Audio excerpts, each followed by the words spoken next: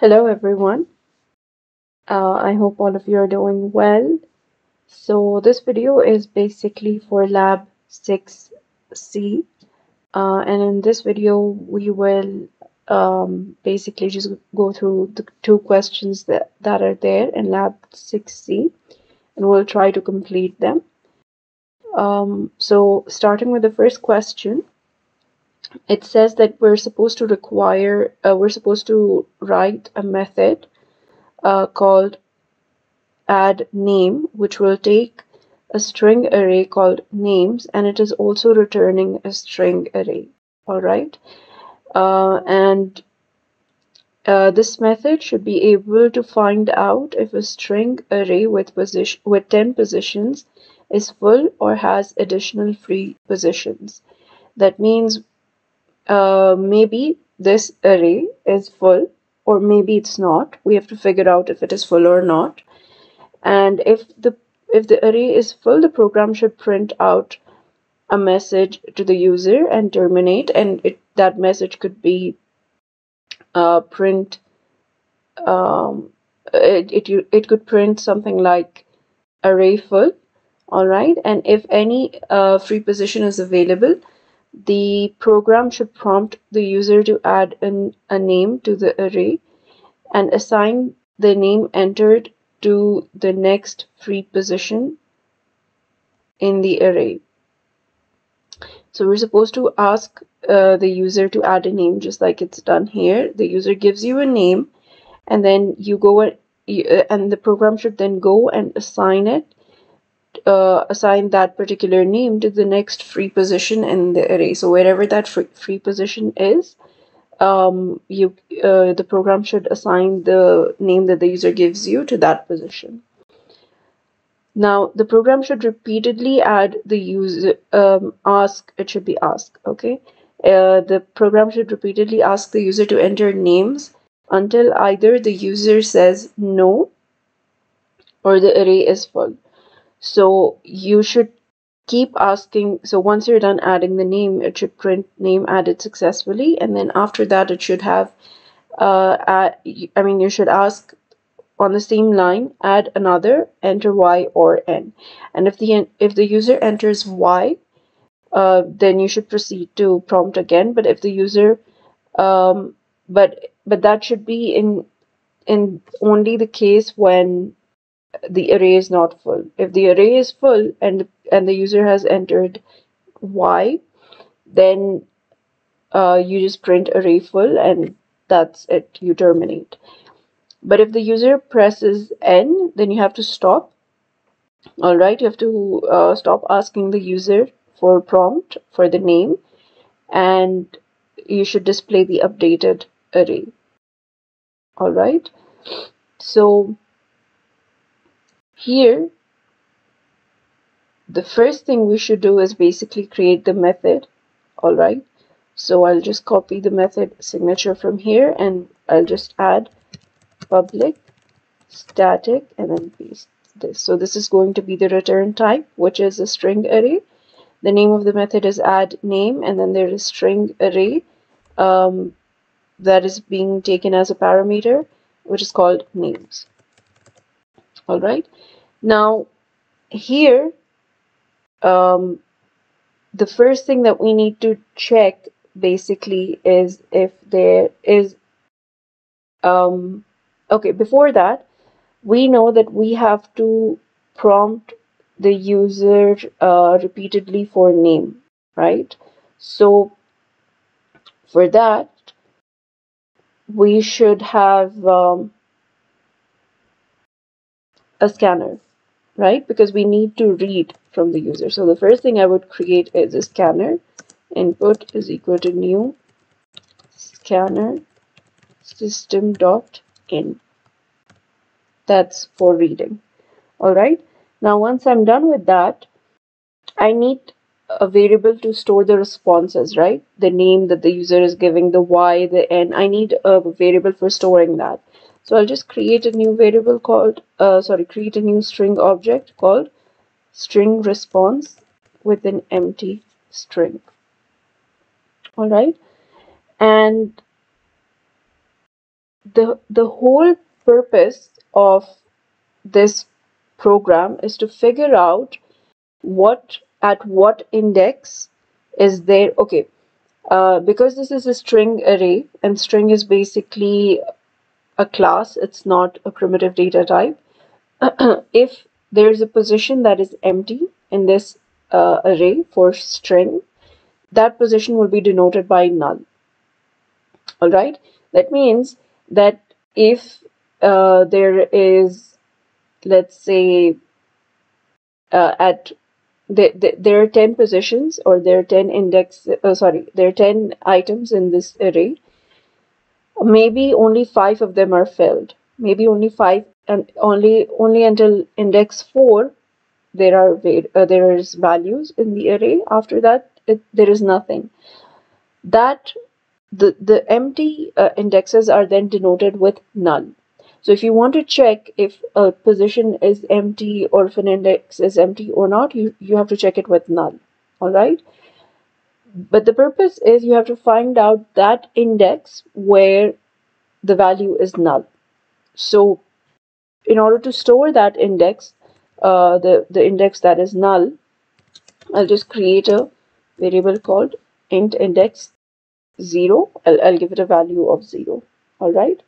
Now I know that I have to uh, ask user basically okay I have to uh, prompt the user to add a name and then once they give me the name I have to I uh, figure out if the array is full if it is not I add the name and then I ask the user if they want to repeat it or not that kind of um, coding we can do it using do while all right I mean, you can choose anything. There is no, um, no, like, specific way, specific rule that you have to use a while loop or a do while loop. It's up to you.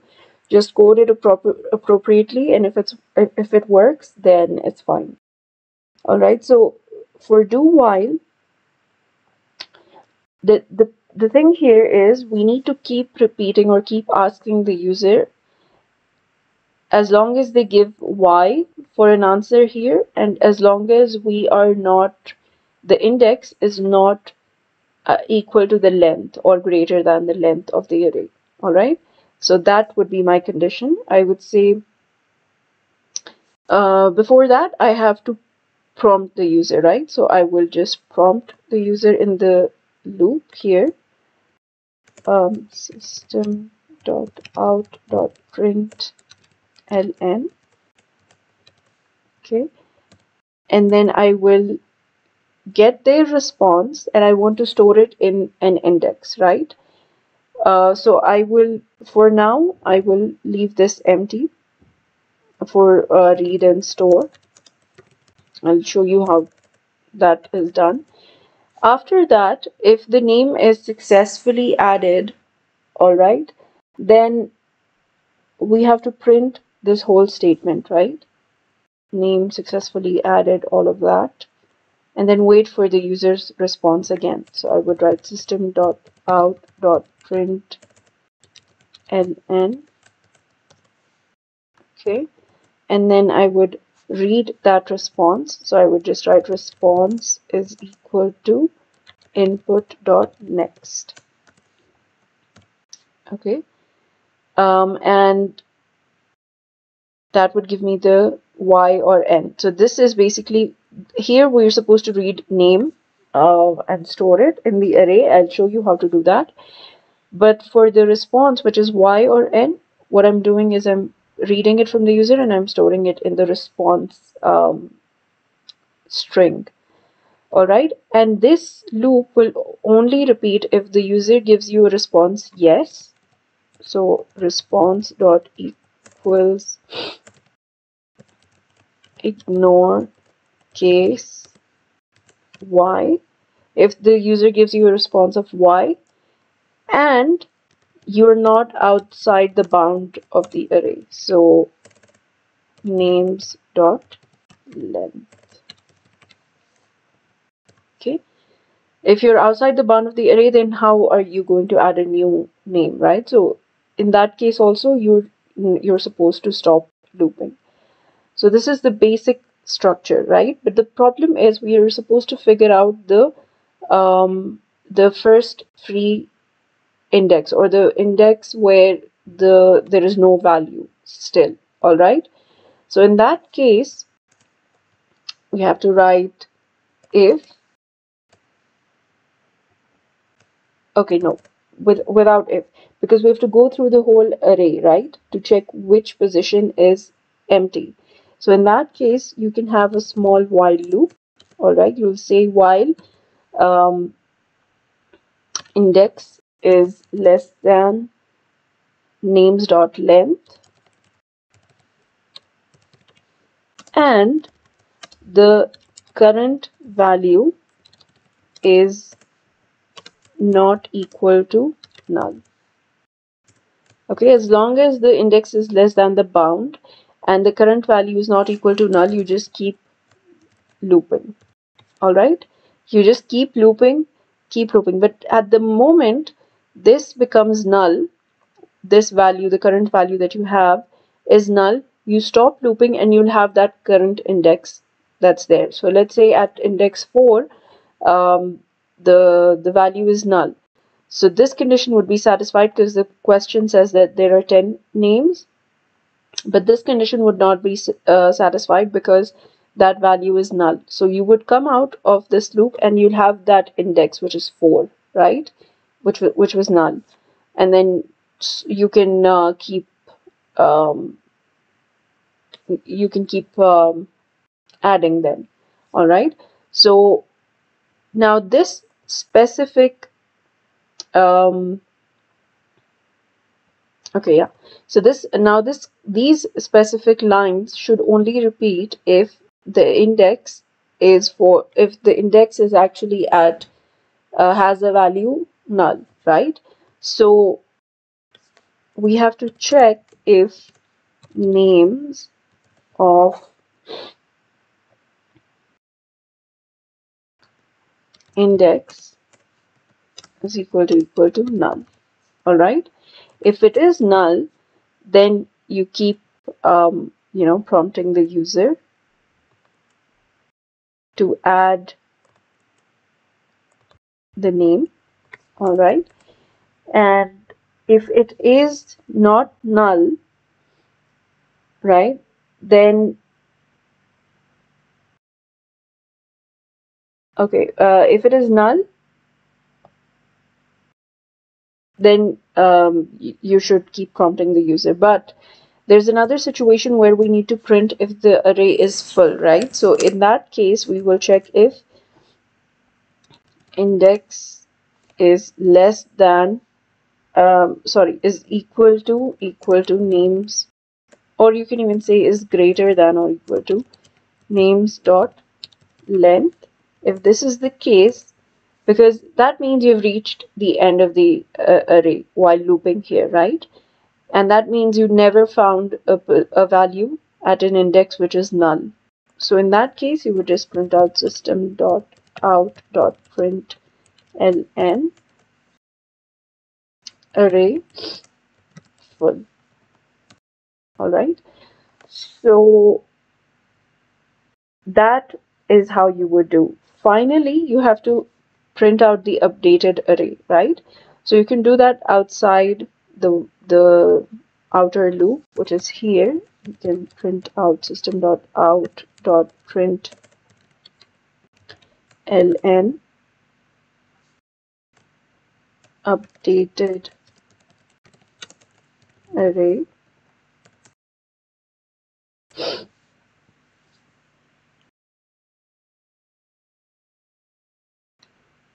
and then we would have a for loop.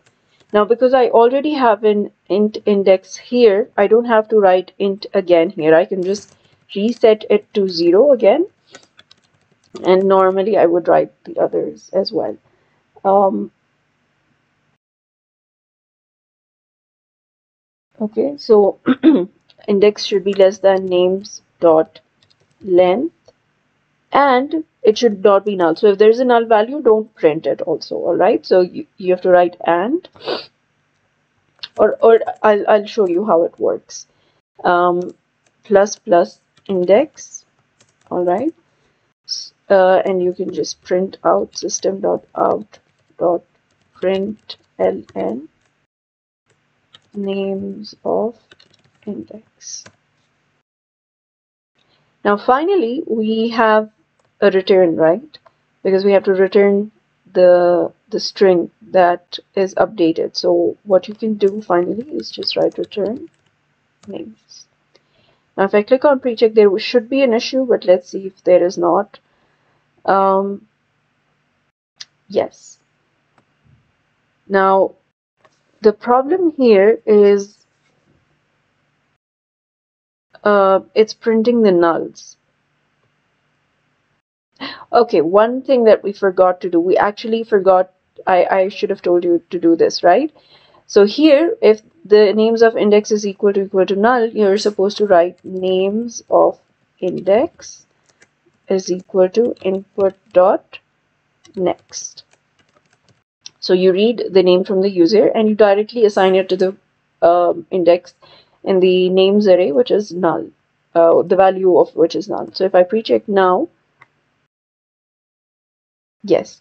See it's giving me the correct answer but the only thing is it's printing null because there's one value in the array that is still null. So you're you're supposed to change your answer in a way that if there are null values the updated array does not print it. So all you need to do here you can just write an and uh, you can add another statement here. You can say and names of index is not equal to null all right? And if you click on pre-check now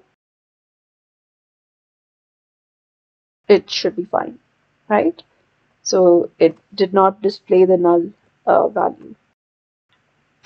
Just remember null only works with class or uh, like object array.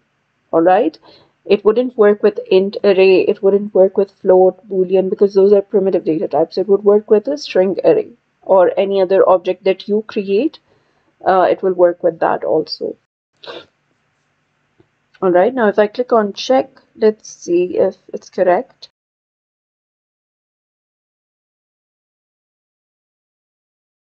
Okay so it says there's an error. Uh, it says index 10 out of 10 uh, index 10 out of bounds for length 10 so somewhere the index is becoming equal to or greater than the bound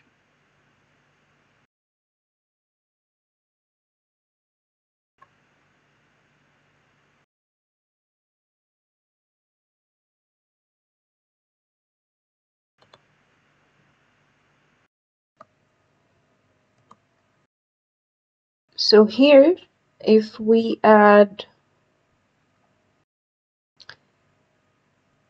um, index should be less than because at some point maybe the index is equal to the uh, the names dot length uh, the length of the array.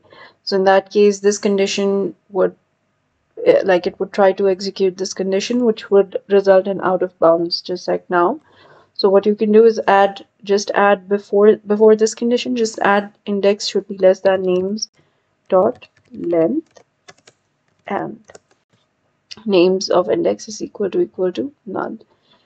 So if we try to check it now let's see what happens. Yeah now it's correct. Now it has shown that array is full or array full and then it has uh, displayed the updated array. All right. So this is the first question